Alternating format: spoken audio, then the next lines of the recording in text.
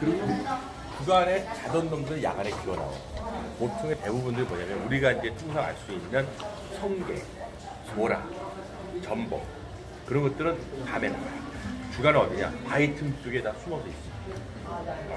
그래서 그런 것들.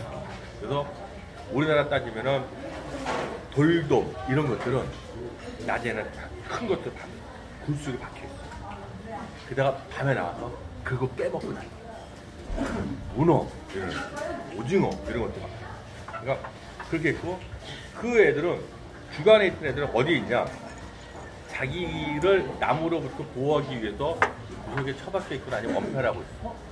아까 그 이 맨드라미 뭐지 그 말미잘에 있던 그 니모 있었지 니모 네, 키우던 아, 네. 니모가 막 갔다 하죠. 걔들은 밤엔 수- 자요. 아, 어디 자냐? 그, 그 말미잘 그 틈 속에서 자든가 아니면 그 밑에 들어가서 자. 그 뒤에 밑에 놨다니까. 그리고 아까 개, 새우 이런 것도 밤에 또막 보다.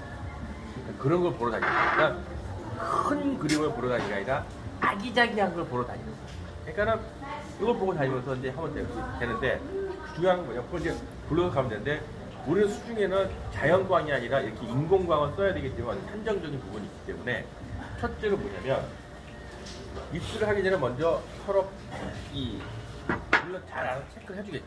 체크해준 상태에서 내려가는데 내려갈 때는 무조건 라이트를 비춰요. 발부터 내려가면 안 되고 될 수 있으면 엎어져서 내려가면서 이렇게 엉덩이부터 내려가면 되게 크죠.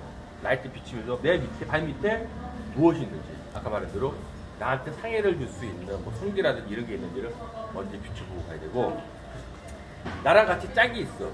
걔가 내려왔는지 안 내려왔는지 이렇게 비춰서 봤다가 큰일 나. 우리 라이트에 운전하다가 상향등 보면 딱 뒤에 딱 받자마자 뭐부터 나와요? 욕 나오지. 욕부터 나오지. 이런 쌍 이거 욕부터 나와. 절대 나 비치면 안 돼.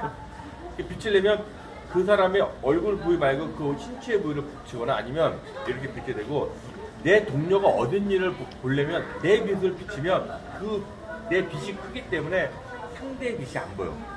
그러면 어떻게 되냐면 내 빛을 가슴에다 대고 가리면 상대의 빛이 보여.